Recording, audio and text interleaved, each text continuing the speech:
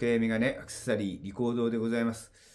今回ご紹介するのは、プラチナ900のですね、平打ち指輪のあのサイズ詰めについてご説明したいと思います。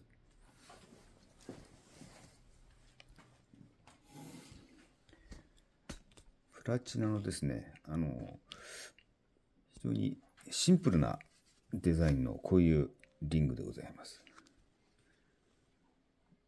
こう平らになって、現在ですね、16番ですね。現在16番あるのをあの12番までサイズを詰めること可能でございます。